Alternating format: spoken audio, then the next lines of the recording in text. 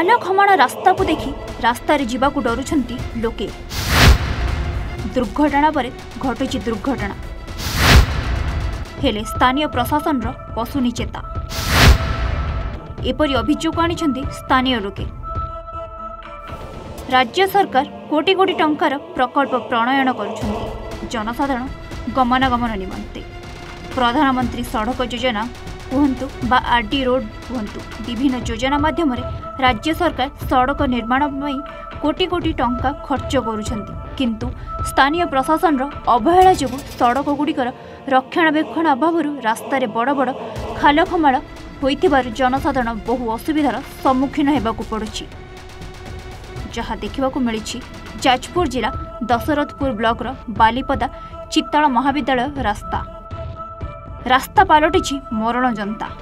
ବାଲିପଦାଠାରୁ ଚିତଳ ମହାବିଦ୍ୟାଳୟକୁ ସଂଯୋଗ କରୁଥିବା ରାସ୍ତାଟି ଦୀର୍ଘଦିନ ହେବ ରାସ୍ତାଟି ମରାମତି ନ ହେବାରୁ ବଡ଼ ବଡ଼ ଖାଲ ସାଙ୍ଗକୁ ରାସ୍ତା ଉପରେ ଅନାବନା ଗଛ ମାଡ଼ିଯାଇଛି ଯାହାଫଳରେ ବାରମ୍ବାର ଦୁର୍ଘଟଣା ହେବାର ମଧ୍ୟ ସାମ୍ନାକୁ ଆସିଛି ଏହି ରାସ୍ତା ଉପରେ ଚିତଳ ମହାବିଦ୍ୟାଳୟର ଦଶ ହଜାରରୁ ଉର୍ଦ୍ଧ୍ୱ ଛାତ୍ରଛାତ୍ରୀ ଏବଂ ସାତ ଆଠଟି ପଞ୍ଚାୟତର ଲୋକେ ନିର୍ଭର କରିଥାନ୍ତି ଏହି ରାସ୍ତାଟି ପ୍ରତି ରାଜନେତାଙ୍କ ନଜର ଅଛି ନା ପ୍ରଶାସନର ନଜର ଅଛି ଏ ସମ୍ପର୍କରେ ବିଭାଗୀୟ ଅଧିକାରୀଙ୍କୁ ବାରମ୍ବାର ଅଭିଯୋଗ କରିଥିଲେ ମଧ୍ୟ କୌଣସି ସୁଫଳ ମିଳିପାରୁନାହିଁ ତୁରନ୍ତ ଜିଲ୍ଲା ପ୍ରଶାସନ ଏଥିପ୍ରତି ଦୃଷ୍ଟି ଦେବାକୁ ଜନସାଧାରଣ ଦାବି ହେଉଛି ଦେବି ପ୍ରଥମେ ସାମ୍ବାଦିକ ବନ୍ଧୁମାନଙ୍କୁ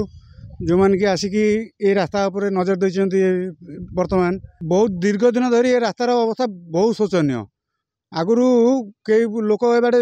ଯାତାୟାତ କରିପାରୁନଥିଲେ ମିନିମମ୍ ହଜାର ଲୋକ ଏବାଟେ ଯିବା ଆସିବା କରୁଥିଲେ ଏଠି ପାଖରେ ସ୍ଥାନୀୟ କଲେଜ ହେଲା ପରେ ଏଇ ଦିନକୁ ପାଞ୍ଚ ହଜାରରୁ ସାତ ହଜାର ଲୋକ ଏବାଟେ ଏଇ ରାସ୍ତା ଉପରେ ନିର୍ଭର କରୁଛନ୍ତି ତେଣୁକରି ପ୍ରଶାସନକୁ ଏତିକି କୁହାଯାଉଛି ଯେ ସେ ଟିକେ ରାସ୍ତା ଉପରେ ଧ୍ୟାନ ଦିଅନ୍ତୁ ମରାମତି କାର୍ଯ୍ୟଟିଏ ଶୀଘ୍ର କରନ୍ତୁ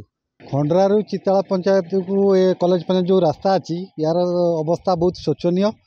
ଡେଲି ୟା ଉପରେ ଡିପେଣ୍ଡ କରୁଛନ୍ତି ହଜାରରୁ ପନ୍ଦରଶହ